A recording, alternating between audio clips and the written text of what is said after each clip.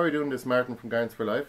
So uh, this is the first of the um, questions and answers um, sessions that we're going to post up, where we ask our audience, or you guys, um, if you have any questions about a certain topic, uh, and we'll try our best to answer them um, with our experience, or what with what experience we've gathered over the last few years, anyway. And um, luckily now, the last time uh, we got uh, over the last week, we've actually received about 25 to 30 questions. So it's quite a number of questions. Some of them are a little similar, so I'll try not to repeat myself. But the important thing is that um, we'll uh, we'll try and address them all, and uh, we'll try and answer them as well as we can. And we have split it up into topics simply because these sessions would be too long if it was very general. Today's session is about um, uh, no-dig mulch gardening and um, what kind of benefits you can have from it. I'd like to start with uh, saying um, well, thanks to all the people that have actually asked questions and posted them up and we're going to um, go through them in a minute. Well, I thought I might say um, that I'm actually indoors because um, it's uh, raining outside at the moment and I finally actually get a chance to do this video um, because normally once there is a bit of daylight out there and it's not raining I'm basically out there in the garden or around the house or the yard getting some work done that requires you know no rain. And um, I just want to show you I'm just in uh, my wife's uh, lovely studio um, in a birdland studio. I'll just show you. And we're in the middle of the forest here look. In our little fifth of an acre forest.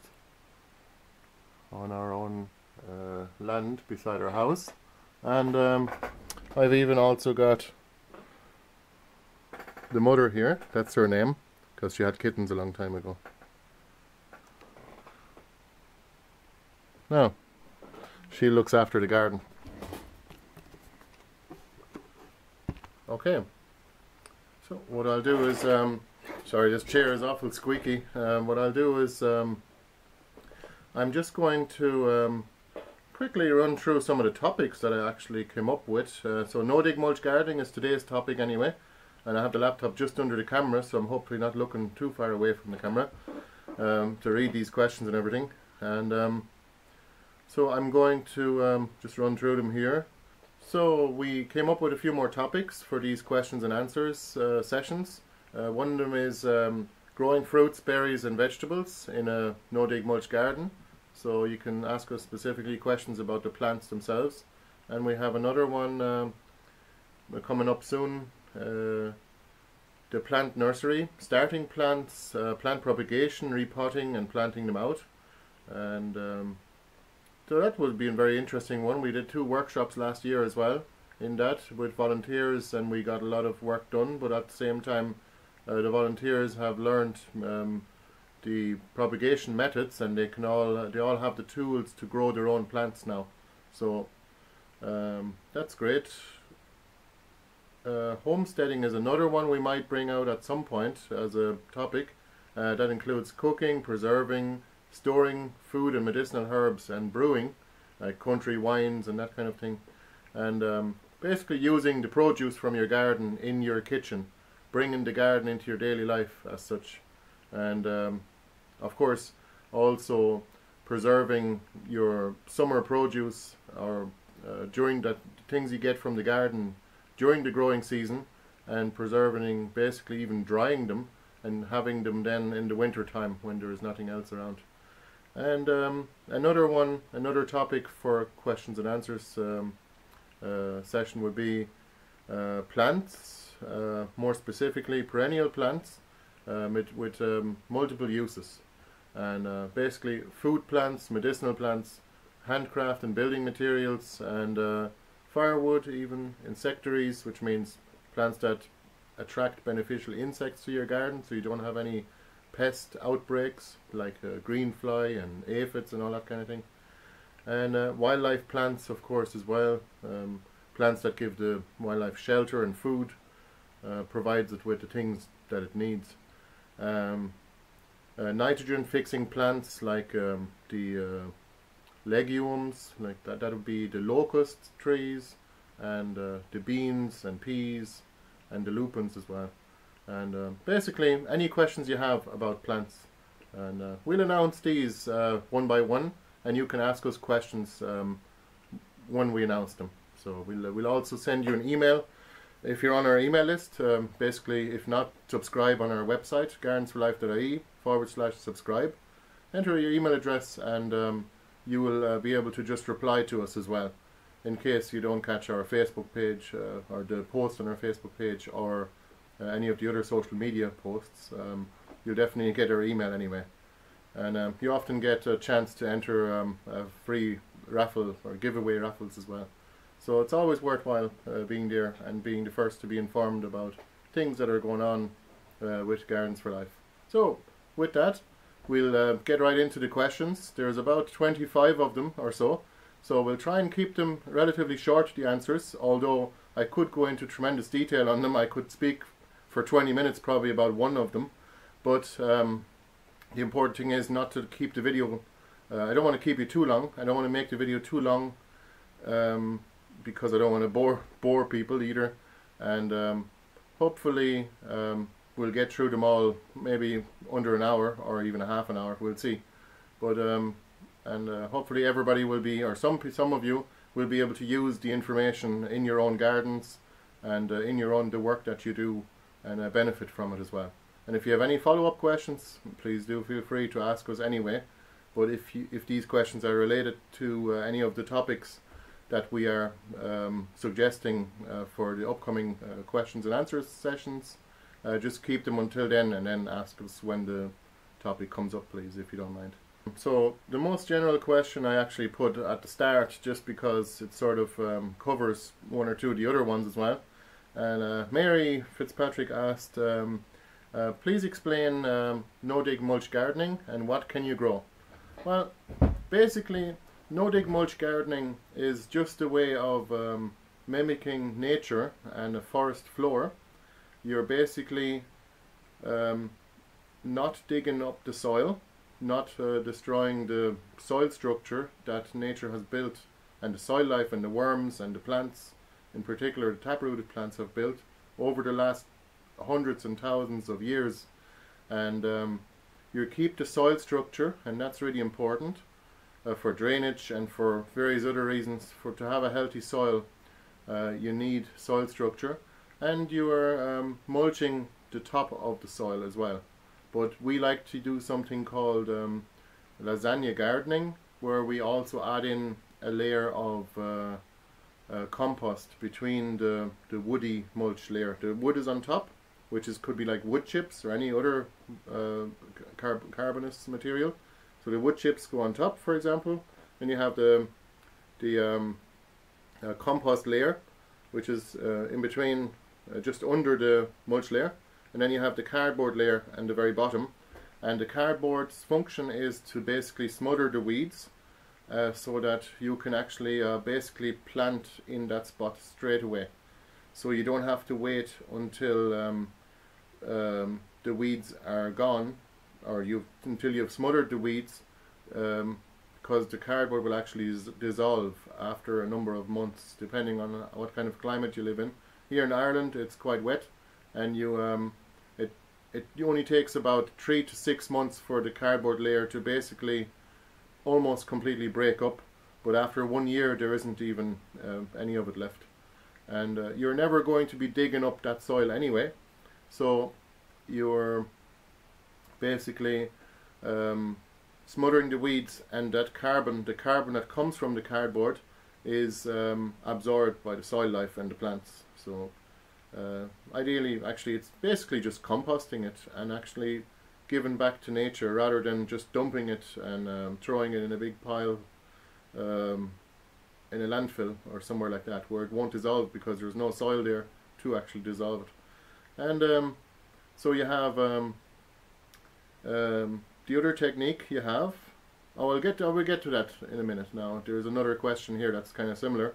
So no dig mulch gardening you're basically not digging the soil and you are uh, layering on top of the existing soil structure and um, uh, what can you grow in it uh, you can grow anything you would normally be able to grow in a conventional garden uh, we like to uh, grow annual vegetables, but mostly we try to grow perennial vegetables, such as all of the ancient tubers that we're growing, and the um, the likes of um, Egyptian onions and perennial leeks and uh, perennial kale like Portuguese kale.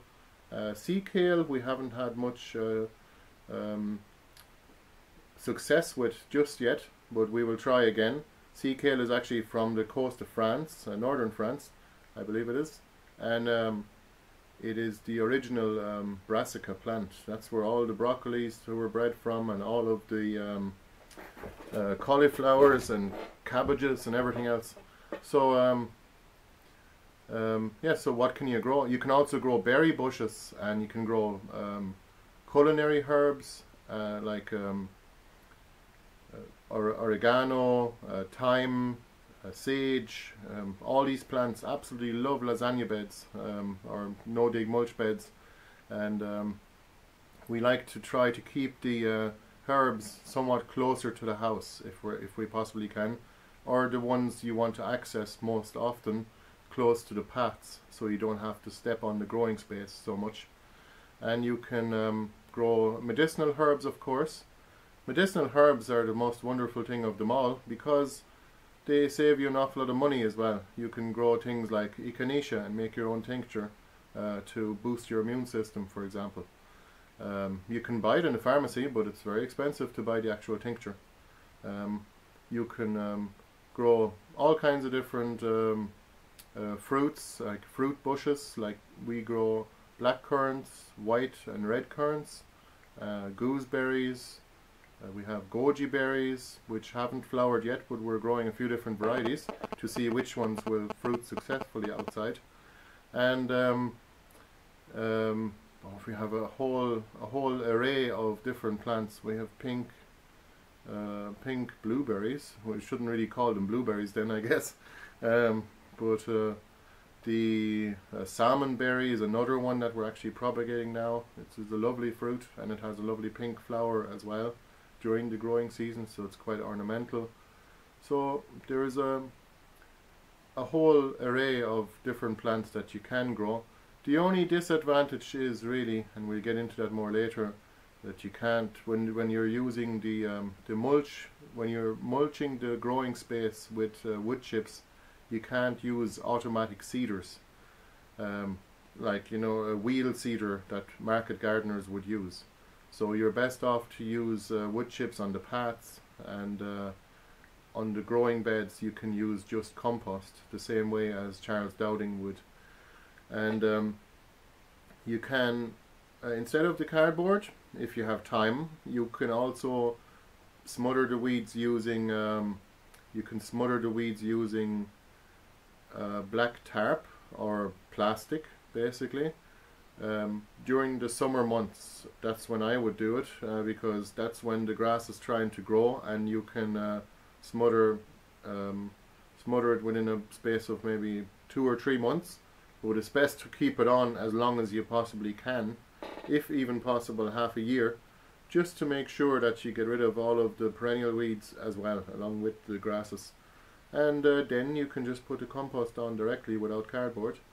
But well, we're not. It's not that we're impatient, but we sort of expand our gardens bit by bit. And I'll just show you a few pictures and videos as I'm speaking here um, of some of the gardening spaces that we've basically set up over the years, the last three years when we bought the house, only three years ago. We've only gone, come through three growing seasons now, and we're going to keep expanding the gardens uh, bit by bit. And basically one corner at a time and it's ideal even doing a tenth of an acre at a time. If even if you have over an acre don't worry about um, doing a full acre or anything like that. Just do small spaces like a 20th or a tenth of an acre or even if you're in a suburb just do a corner of the garden first. Maybe a reasonable sized area like Mark Shepard would say it, if you're going to have an do an experiment it's worth um, making sure that the experiment is big enough in case it's actually a success. So um, yeah, just just make a start really. And if you don't want to wait until the summer to smother the weeds with plastic, just put down a layer or two of cardboard. And uh, we'll get much more into that later on, but uh, I don't want to keep these answers too long either. Um, we have um, uh, we're working on a video course at the moment as well um, of for on the topic of no dig mulch gardening of just what we've done. We want to show people in detail what we've done. It's just it'll take it's taken about uh, maybe six weeks to two months to even make the videos and then edit them takes a few weeks and uh, we'll um, of course it'll be a few hours worth of material so um, we'll, we'll, we'll let you all know when that's ready and uh, we'll offer it on our website then as well to watch or download and um, we'll get into more topics now um, we sorry into the next question uh, uh, Taryn asked um, my experience with uh, no digging is to first lay down a good layer of newspaper or cardboard in order to smother the weeds. Um, is that a necessary step? I believe I've asked, I've answered that question. I think it is necessary because weeds will come through. Um, if you just put down compost on top of the weeds, it is possible to smother them, but it would take an awful lot of compost. I mean, 20 centimeters or 8 inches worth and then put a bit of um, put put some uh, wood chips on top as an option that's the way Charles Dowding has done it uh, I would suggest at least putting down a, layer of comp one layer of uh, cardboard if it's lawn or if it's a field with very thick perennial grasses and weeds I would suggest um, don't mow it first. It's a waste of time. You're better off to actually smother it, smother any weeds while they're fully attached to the plant. And uh, there's no point in cutting them down first because they'll only sprout easier. It's better to just basically throw the cardboard on top uh, of the existing grass on, and weeds. And um, we've even done that with uh, the likes of uh, thistles and nettles and uh, brambles even, like blackberries. I've just taken basically a full uh, a full two meter sheet of cardboard and just smothered them just by like basically flattening them, and then we layered our um, compost on top. But this we'd have to use very thick uh, cardboard for that to for that to be effective, and uh, a few bits and pieces might come true, uh, like the perennial weeds that have a fair old taproot might come through a year or two later. Um, but what comes through is very easy to pull up. It's just a little stringy, sort of a, a white bit that comes up. And um, let me see here. Uh, what's the better way uh, to use mulch? Um, I feel like uh, wood chips uh, put too much nitrogen into the soil. Actually, I think um, the most most difficult misconception is with when using wood chips is that um, wood chips take away take nitrogen away from the soil when they as they're decomposing. But uh, our experience is, and and many other no-dig gardeners like Back to Eden gardeners, especially Paul Gautschi, um, their experience is that if you don't mix the layers, uh, don't mix the mulch layer or the wood chip layer uh, with the soil or with the compost layer. Um, and then you're fine. It'll only take a small bit of uh, nitrogen from the compost in order to decompose. But it, wood chips are mostly woody. There is a small bit of leaf and needles in them if the wood chips are fresh, and that's called branch mulch um, that's the one you want to use for, for the garden really, the whole tree and mixed trees all together. And uh, there isn't um, much nitrogen in the wood chips themselves, so they wouldn't really add much to the soil. But what it does add is, of course, carbon, which uh, woody plants need to grow, but also a ton of minerals. We also like to amend our soils with a bit of volcanic rock dust as well, though. Um, now, let me see, what's the next question? where did we get our um, compost from? Right, the lorry load or the tractor load, it's the same load actually, 14 tons typically. Um, well, you can get compost from uh, different places. You can get. Uh, we found. We found over the years that mushroom compost from mushroom factories or mushroom tunnels are that's the best material to use in the garden because it's sterile and it's safe. Uh, there is no fungicides in it, certainly, and uh, most of the time it's actually even steamed when it comes out of the factory at least uh, from the big factories. So you don't get the mycelium of the button mushrooms or whatever ones they were growing there, and um, you can uh, you can get it in large quantities for very little money, but transport is typically speaking the issue. The lorry load that you see on the picture, I'll show it to you here. Um, that was quite expensive to transport. How much was that? Uh, that was 300 euro uh, plus VAT to get that lorry tra to transport the material about an hour from a, from about an hour away. But it's worth doing if it's if that's the only way you can do it. But if you know somebody with a tractor, uh, they can do it for half that cost. So, but first you need to find someone that's willing to do it because tractors are not designed to drive uh, 30 miles away or, or whatever distance you need, uh, whatever distance your closest mushroom factory is uh, to you. But uh, I'd suggest find one that's closest to you and then just use a car trailer to start with, um, which does the job fine. And you get a fair bit of material for as little as maybe 15 or 20 euro is all you want, want to give them really uh, for it. But it's, it's worth a lot more than that, of course. And it's best to leave the compost for a month in a pile before you use it.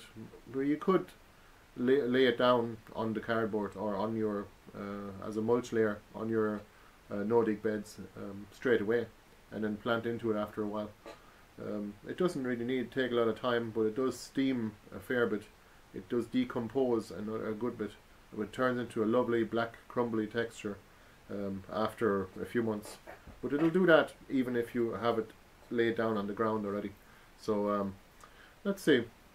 Alright, let's get on to the next question. Uh, Stefania asked, uh, is it too late to get started now with a no-dig uh, garden bed or raised beds uh, for vegetables and flowers uh, for the upcoming growing season? Uh, she'd like to add rotted or decomposed grass clippings. Um, well, you can certainly use them, and it's it's never too late to set up a lasagna uh, bed or even a raised bed, uh, depending on what kind of vegetables you'd like to grow. If the vegetables require a full growing season um, to mature and ripen, well then you got to get those started early, maybe even in a greenhouse as plants, and then send plant them out uh, after May typically uh, when the frost, chance of frost is gone, because a lot of um, the vegetables are actually frost tender, but um, and a lot of them aren't as well. So it depends on what you want to grow, really. Uh, but it's it's only early yet. This is only the end of January now, so don't worry. You have plenty of time yet to set up your garden. I mean, you have until April or even May uh, to get to really get uh, the garden beds ready. Um, you can use um, grass clippings as a compost as long as you decompose them properly. The problem is if you don't mix them with um, uh, some carbonous material, like 30 to 1 is usually the ratio.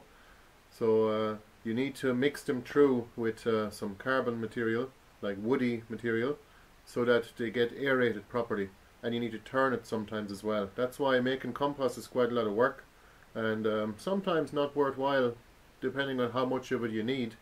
It's always good to make your own compost, but we like to just um, basically put our kitchen waste into a hugelkultur uh, bed or a mount bed and cover it with uh, compost or uh, with soil afterwards and um, with mulch or wood chips then and we'll just um, basically grow straight down into our compost pile essentially so um, um, yeah, it depends. Your grass clippings, as long as they're not anaerobic and if they smell bad, it might be worthwhile to just um, um, add some small bits and pieces of branches or, or any kind of kind of woody garden waste uh, to them and just uh, give them a bit of air and just uh, sort of stir them up a little bit uh, every couple of weeks. And um, I'd let them let them make sure that they're uh, fully rotted and for sort of turn into soil before you add them into your raised bed. Um, so the next question um, what's the best mulch to use? Uh, wood mulch or bark mulch or straw or hay? And how deep? Well, we've used uh, straw before. It works fine. The problem is straw can be um, risky because it actually can have fungicide in it and even herbicides. So it can cause damage to your mycelium or your fungi in the soil and also to your plants as well uh, with the herbicides, especially persistent ones. Um, if you can get straw, straw, that's fine, but it doesn't really look great in the garden, to be honest, and you can't really walk on it properly.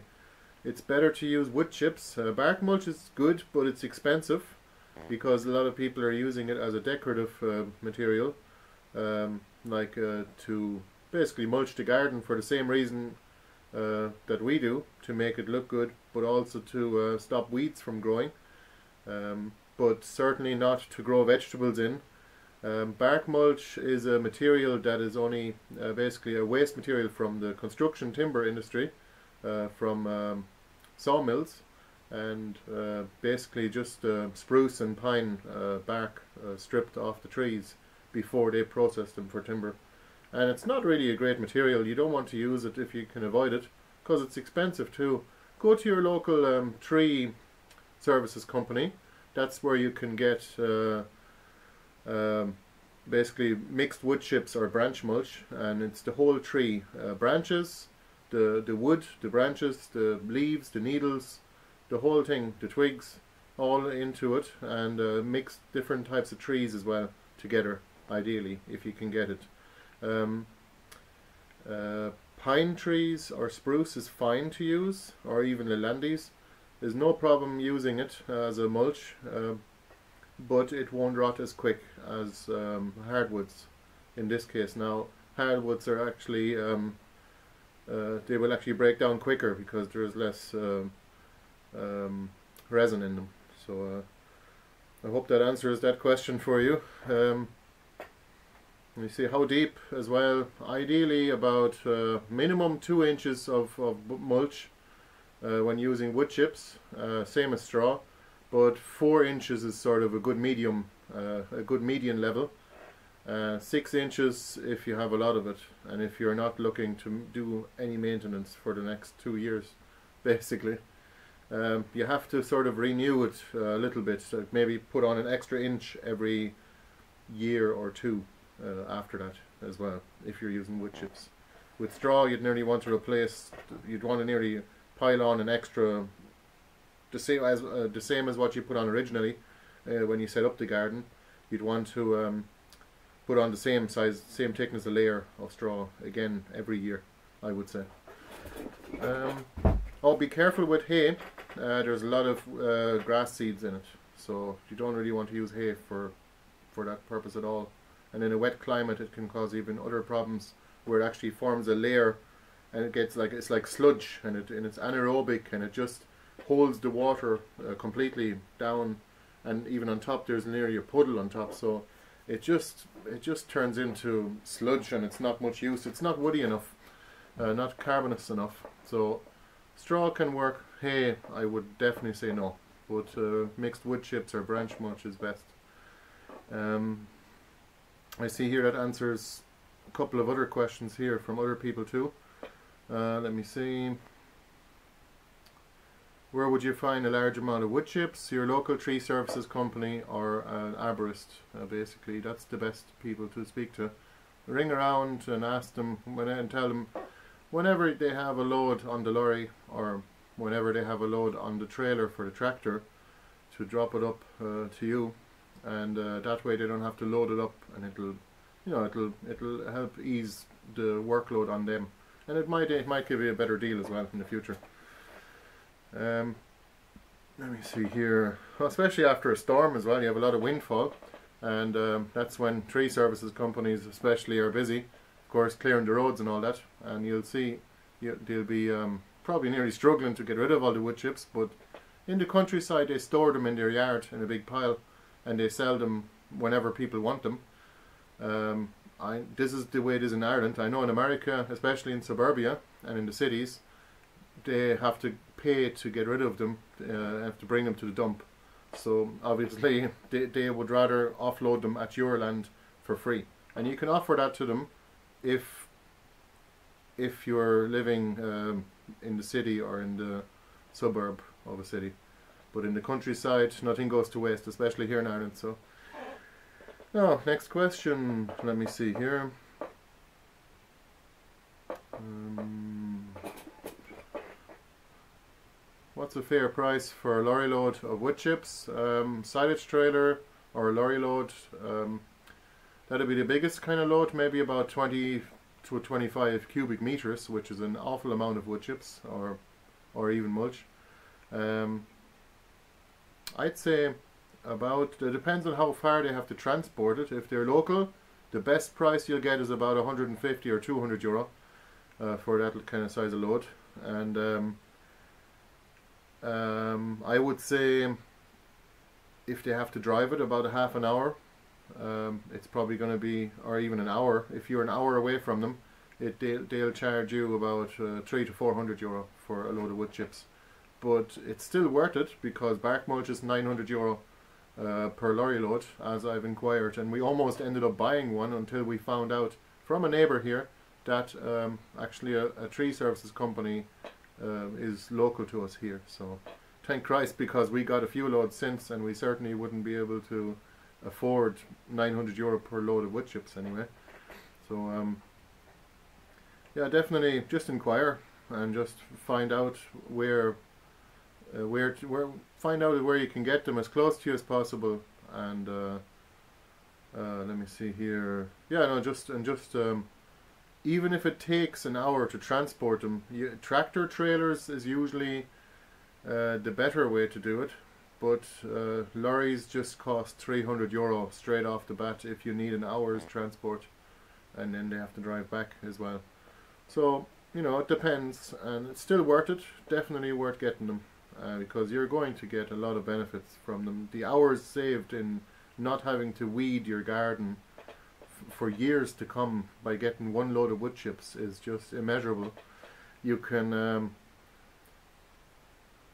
you can basically um, they, you can measure it even by um, how much uh, produce you're going to get out of it. I'd say that those wood chips are going to break down and they're going to add minerals and, and other nutrients and uh, of course carbon into the soil and uh, they will uh, greatly benefit your soil life and the insects will live in it as well. So you're, you're basically you're boosting you're boosting the um, the soil ecology in many ways by having the wood chip layer on top.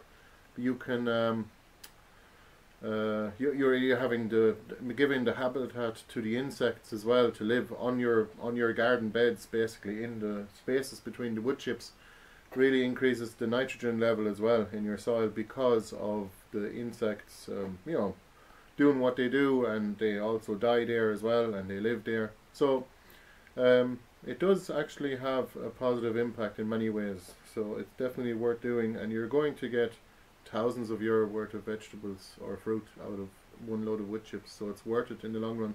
It's like better than money having a uh, better sorry, better than having money in your bank account, having a load of wood chips or a load of compost uh, on your land. Um, let me see here. Like, what else did you say here? Um, uh, different types of wood chips. I've already addressed that. Um, basically, make sure if you can, if you have a choice, get mixed uh, wood chips, the whole tree, uh, including leaves and needles and branches and wood, and uh, just um, all different types of trees together, mixed together. Uh, that's the best way to have it anyway. Now, Rosie asked. Uh, with the wood chips, are slugs a problem? Uh, it seems to be a good hiding place for them. Um, there's also another slug related problem uh, question here, so I'm going to put that in at the same time. Um, Sabine asked uh, how to manage slugs, uh, the soil-dwelling species, uh, from eating your tubers uh, in a no-dig area. Well, first of all, slugs are not as big a problem as people make it out, make them out to be. I understand that they are the main primary pest in cold temperate climates, especially maritime climates like here in Ireland and the UK.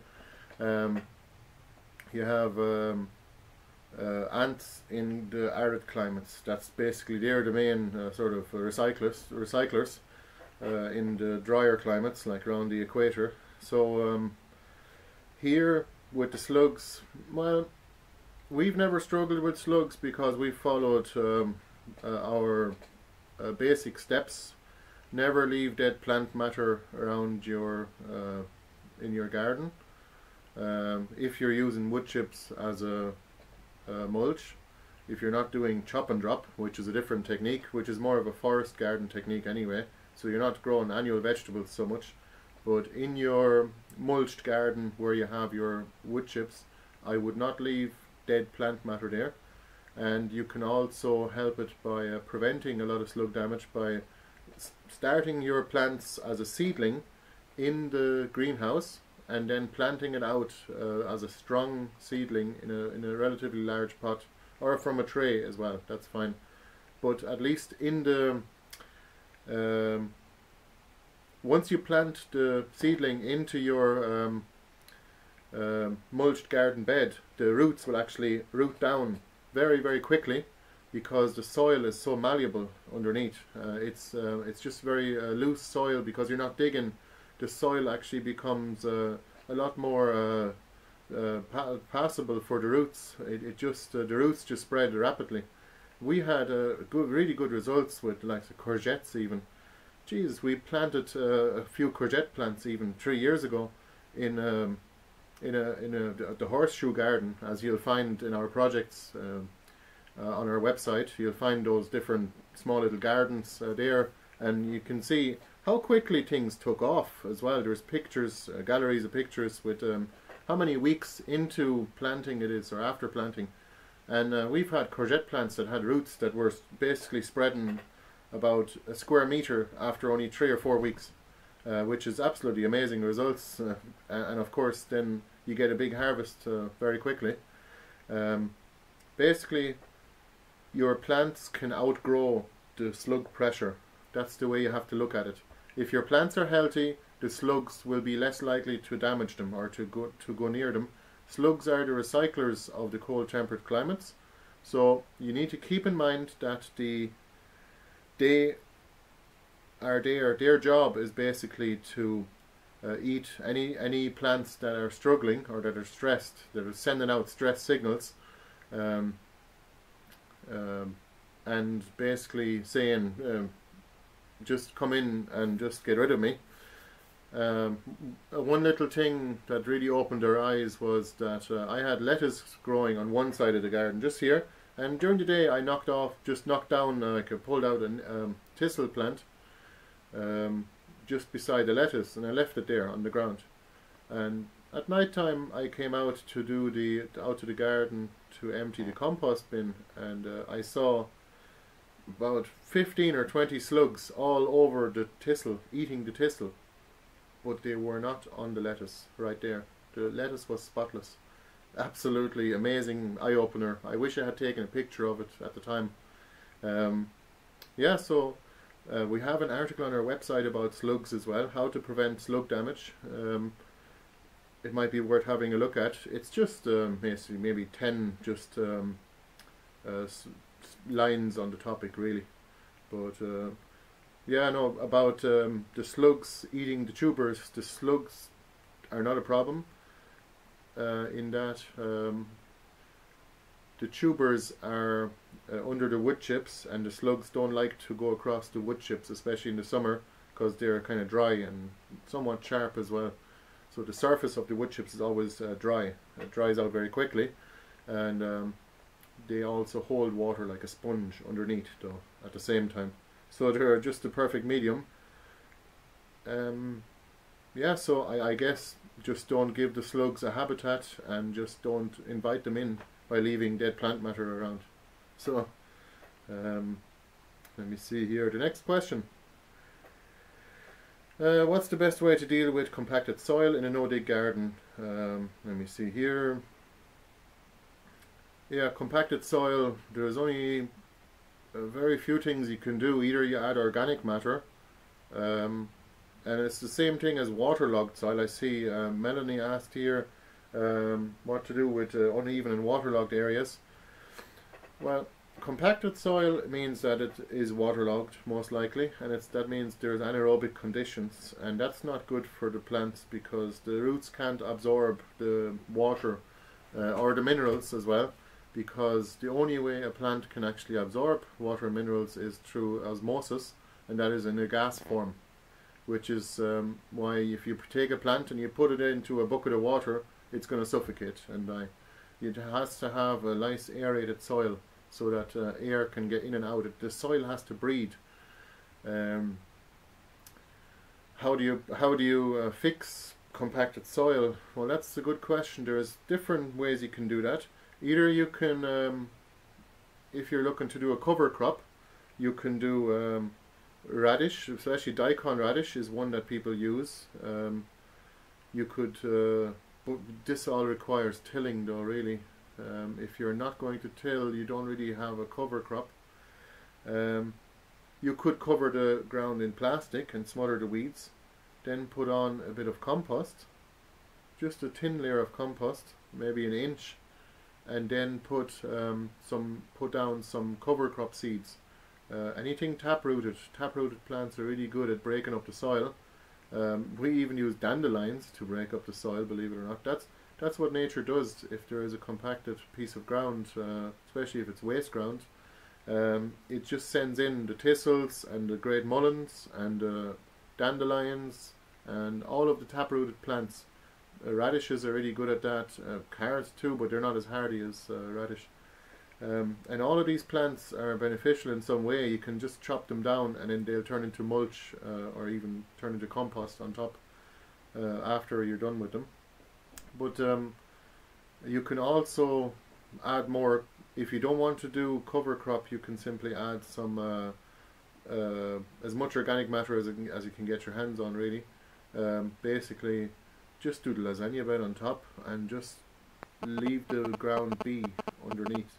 And the worms will come up in and, and they will come up through the cardboard. After the cardboard is gone after a few months they will the worms will actually make channels up and down to, into the uh, fr from the native soil underneath into the uh, actual compost. And it they will take some of that fertility down as well and they'll mix it through uh, all all without you having to do anything nature will take care of it uh, but adding organic matter is the way to go with waterlogged soil um, and that's all you can do and I would suggest adding both uh, compost and wood chips on top as well um, let me see another question. Hang on, I'm going to do a cut. Now, what else did you say, Robert? Um, you'd like to know um, what's the best procedure to prepare a seed bed. That depends on what you mean by a seed bed. Do you mean like um, a, a, place where you want to grow uh, vegetables, for example, like carrots, where you want to direct seed them? Well, the best thing to do is just brush the wood chips away in a little uh, kind of a channel, just a little trench, and then put your even even add in a few handful of compost just to bring up the level a little bit, just on that little bit, uh, just in that within within the trench itself. Then add your seeds on top, and then as the little seedlings grow, uh, you just close the wood chips in from both sides. It's always best to take the wood chips like this and brush them off to both sides using a rake. That's the best way I found.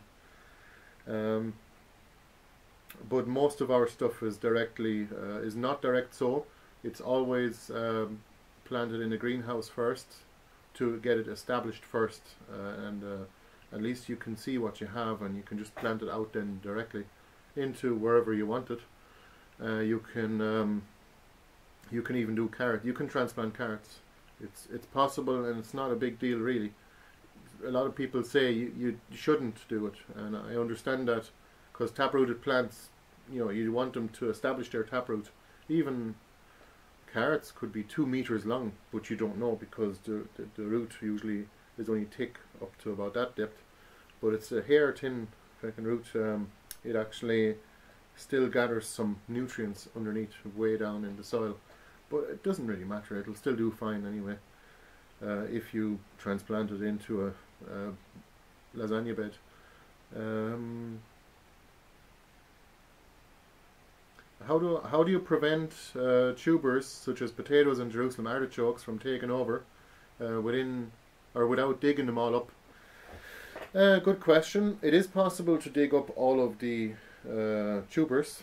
Um, the potatoes and the ocas, uh, I found they they struggle to come back if you don't have if you have an active soil life and if you don't dig them all up they actually get eaten once the soil life uh, starts waking up in springtime, maybe around April.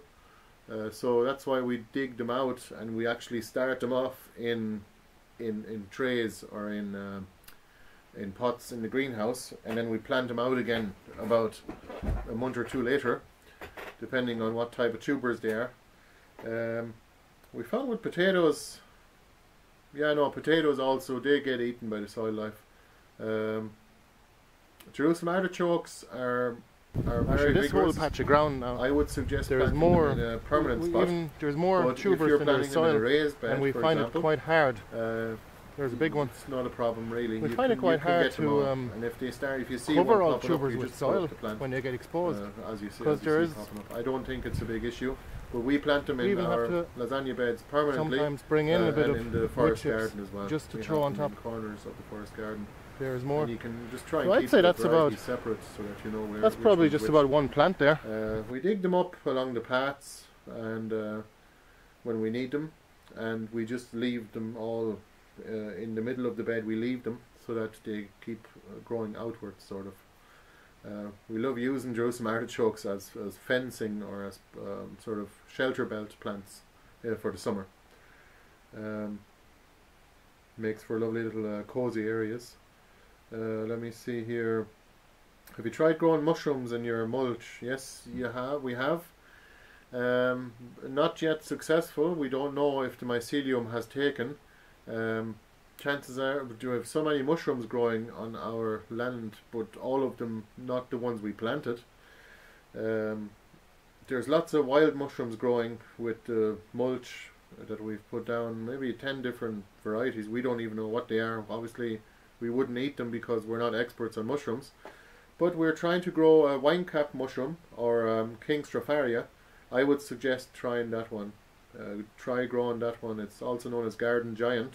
I'll show you a picture of it. Um, it's uh, it's the easiest one to grow, and we're going to try and grow it again year after year now. Uh, last year in the new garden, uh, we planted it in about five different places, and um, hopefully it will be a success. We have taken videos, and we must uh, compile those, and we'll see if we have some popping up. We have spotted that the mycelium, the white strands, um, have actually they- they're there where we planted them. It's just that it can take a year or two for the um, fungi to establish, or the mycelium itself to establish, until it actually starts fruiting. So remember, the mushrooms are just the fruiting body of the fungi. So, and the mycelium is like the root underneath the soil, which is what connects all the plants as well. And um, the Strophar- King Stropharia actually benefits uh, plants as well. It is it is a symbiotic um, uh, mushroom that helps uh, to gather minerals and water. It extends the plants, uh, the roots of the plants, in exchange for sugar. Um, we have grown logs. We're going to do a workshop on mushroom logs at some point soon. Uh, we haven't done it successfully yet with um, lion's mane or with uh, shiitake mushrooms, but we have done. Um, we've even an article on our website actually as well about mushroom logs and how to do it. Just a little picture gallery there too. Um, we have uh, grown turkey tail successfully. The logs actually dried out. All of the logs dried out in the forest, um, uh, which is really unfortunate. Uh, that's why they didn't grow. But the turkey tails took, and uh, I'll show you a picture of those here now. That's a great medicinal mushroom. It's a bit like echinacea. It boosts the immune system when you need it. Um, let me see here. Yeah, there's some great uh, great videos on uh, YouTube of uh, how to grow King Stropharia. Um, Paul Stamets recommends to grow the um, King Stropharia or the wine cap mushroom um, by getting some cardboard and tearing off one side of it so that you have the sort of the wavy bit on top.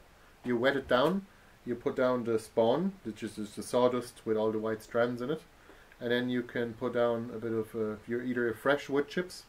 Uh, always remember that uh, when you're growing uh, mushrooms, you have to use wood that's less than one month old. Uh, like uh, otherwise, other mushrooms will have already populated it. Ideally, very fresh wood. wood chips, very fresh, and logs also very fresh. As fresh as possible, really, but definitely no long, no older than one month. Otherwise, you're uh, cultivated varieties uh, of culinary and medicinal mushrooms will not take, uh, most likely anyway. Next question. Uh, garden is uneven.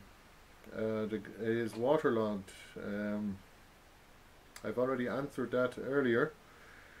Um, what's the best way to deal with that in a no-dig way? Is it necessary to have some uh, borders for raised beds? in the no-dig areas.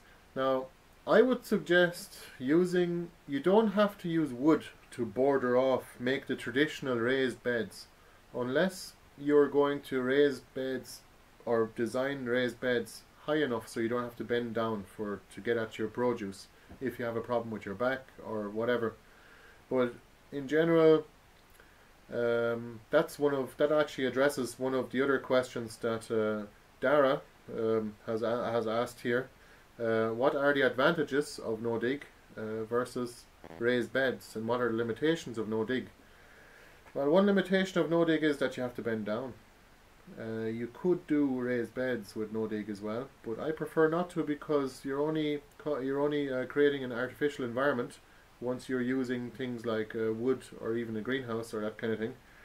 If you're creating a raised bed with uh, wooden sides, for example, that wood is going to require maintenance. It might actually uh, dissolve or, or, or it might actually no, be no longer of use after a few years as well. So you're going to have to replace um, the the contents or the soil within that raised bed after uh, some years of growing anyway. You can still amend with liquid feed as well.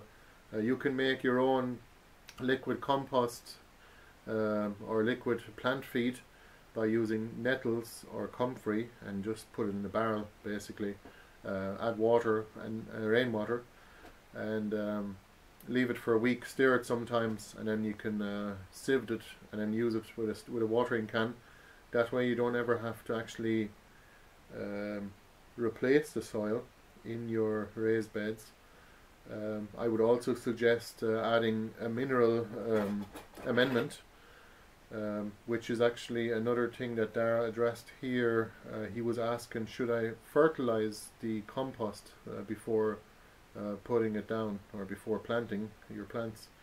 I would suggest there's no need to fertilize compost because the compost is actually the plant food. Um, you can add certain things that are not in the compost yet. The compost usually has a lot of nitrogen in it, which is animal manures but you your wood layer on top, the mulch itself, will add the carbon to the soil, and that's the two main things that plants really need, along with a bunch of other minerals. You can add um, amend the soil at all times with a bit of volcanic rock dust, just a sprinkle on top of your bed, and water it in, and the rain will water in, water it in some more then over time as well and it will make an awful difference to your plants because plants, and the same as us and all animals, are made of minerals. They're like 90% water and 10% minerals, basically. Um, healthy plants uh, need minerals.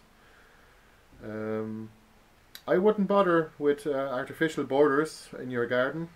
Um, Melanie, I would suggest uh, to simply um, use whatever you have. For example, field stones or rocks. That's what we use here, and it makes a nice. Um, it makes for a nice natural looking border, and also the stones themselves actually hold the heat during the day uh, when the sun shines on them, and they let it off in the evening time when it gets colder. That gives a little bit of an ambient microclimate to the plants that are planted next to the rocks or next to the, the border. We just um, also you can use uh, plastic under the rocks or even under whatever material you're using to block the grass roots from coming up as well. Um, I hope that answers that question. Um, let me see here. Oh yes, uh, one thing I didn't address there was that the garden, the soil, the ground is uneven. Well, what you can do is you can just even it out a little bit using um, compost, and then um, I wouldn't bother. Like if if there's big rocks in it, to just remove the rocks if they're if they're in the way. If you can't walk on them, like you don't want to break your ankle, but just um, I wouldn't be digging up all of the rocks trying to make it all perfectly flat. It's important to have a bit of texture in your uh, garden and uh, I just covered in mulch and that's what's going to give you a surface to walk on and it's also going to help with your waterlog uh, issues as well of your soil um, I hope it's not getting too dark at this stage now it's actually we're coming up to half three here now and it's a cloudy day um, I don't want to turn on the light though because it's going to change the, the lighting conditions of the camera completely uh, hopefully we'll get through these now don't want to keep you for too long. Um, do we till the soil before no, not digging? Uh, we do not dig the soil. Uh, we don't till it at all. Uh, some people till it the first time and then they go no dig after that because they want to amend the soil and get rid of the weeds and grasses. You can do that. Michael Pilarski on YouTube has some really good materials on uh, planting a food forest and medicinal food forest and uh, that's the way he does it. He's really good at it now. He's an expert at growing medicinal and plants and, and food as well. Um, stones, yeah, no. If if I wouldn't bother, just take up uh, Carol. Um, as for your question, I would suggest uh, simply take take away all of the big stones and then just even out the, the ground using uh, compost and then you can put the cardboard on there. That's the way they do it in Australia. Um, Bill Mollison always and Geoff Lawton always used to put down the compost layer first and then the cardboard and then whatever wood chip or, or straw on top. You can do it that way, but we like to put uh, on reasonably level ground we like to put the cardboard down first in order to smother the weeds and then the and then the compost so that we can plant into the bed straight away. We don't have to wait until the cardboard dissolves, but we also don't want to make holes in the cardboard as well. So um, that's really important. I, I wouldn't make any holes in the cardboard. If you have a tree to plant, plant the tree first and then put the cardboard around it, sort of like just all around it. Um, let me see here. What else? Do we have? Uh, Carol also asked. Uh, do you have any waterlogging issues along the edges of the polytunnel? Uh, we don't. I'm not sure whether you mean the inside or the outside. Uh, on the inside, we don't we don't have any crops. We just water what's on the tables and just bone dry so that slugs don't have any interest in coming in, and that's really important to us because that's where the small little vulnerable plants are being uh, raised from seed. Um, so, not really, no. Uh, we don't water inside the polytunnel. Um, on the outside, where the trenches are dug, uh, we don't mind if there's water in the trenches themselves, where the plastic is, and and uh, which were would have been filled up with soil. Um, because that adds extra weight holding down the plastic in a windy, uh, in windy conditions. So it's not a bad thing. I'll do a cut here. Maria asked, uh, what varieties of corn uh, do we grow? Well, actually, this last year we were very late to start corn. We just hadn't thought of it because we were starting so many other plants. Um, corn uh, we planted very late, so we decided to go with a nor uh, Scottish variety called Northern Extra Sweet. Um, so it seems like a good variety. The cobs are a little small, as you'll see here. I'll show you a cob here in the video. Um, The plants are quite um, small as well. They're only about uh, five foot tall, uh, but it's still a great. It's a great corn, I think. And uh, once we plant them in the ground earlier next year, I think they'll do even better. They weren't particularly sweet simply because a lot of them didn't uh, ripen. Uh, because we planted them too late. Only in June we planted a lot of them in the ground. So, but uh, I would suggest if you're struggling for sunlight or if you're in a place where you have a limited uh, length of growing season, you should definitely consider varieties that that are not very big in the cobs and very sweet. I would suggest going for northern varieties such as Northern Extra Sweet from Scotland. There are, I'm sure there is other ones as well from Scandinavia that require even shorter growing season. But in Ireland and in the UK, you shouldn't have a problem growing any corn as long as you start them off early enough. Don't think it really needs to be a good summer to get it, but I would suggest growing more than one variety of corn anyway, of everything. Always grow two or three varieties of all of the vegetables and fruits. Just you never know what way the, the, the summer is going to go or here in Ireland, as we like to say, whether or not there's going to be any summer at all. Uh, but that's more of a joke, really. I think the last few years now we've had fairly good summers, um, some droughts as well, which is very unusual now for Ireland, especially. But um, wouldn't mind another heat wave unless, you know, it depends. Um, always depends on what you're growing in the garden. I mean, um, uh, Ben Falk from Vermont in America always used to say he, he wrote a book called The Resilient Homestead and he says that it's best to grow plants that are about two uh, two zones up and down from your zone um, so an, a range of uh, climate zones basically so that if the weather gets colder in general your plants you're going to have some plants that will grow fine and if it gets hotter you know it'll um, there'll be other ones that'll pick up uh, that'll be more productive then. Mm, what other questions do I have? Uh, Dara also asked here, I have a beech tree, I have beech trees near um, where I'm growing vegetables. Uh, when the leaves fall, uh, will it be likely, or they'll they'll be likely to cover the bark mulch or the the actual the wood chip mulch? Uh, can I just leave them there? Um, yes, you can, and leaves make for a great mulch material. Uh, they're just not very woody, so you can't really walk on them as well. They're, I mean, the the wood chips make for a great uh, all-around material like that for paths and for garden spaces as well. But you'll find that the we have trees nearby some of our uh, no dig mulch gardens as well and there is no problem with leaves falling on top of them. They just they'll dissolve after the winter anyway so I wouldn't worry about that too much. And they'll add they'll you know they'll they'll add to the soil soil's fertility as well long term and think about sure uh, forest floor that's how it uh, that's how the forest feeds itself. That's how it insulates the soil life and its roots from uh, the winter uh, the cold winter temperatures. And in the springtime, then all of those uh, um, uh, leaves will have broken down by the mycelium or by the fungi and by the soil life and turn into plant available uh, um, nutrients for the trees to eat up and uh, make new leaves basically. So and so the cycle continues.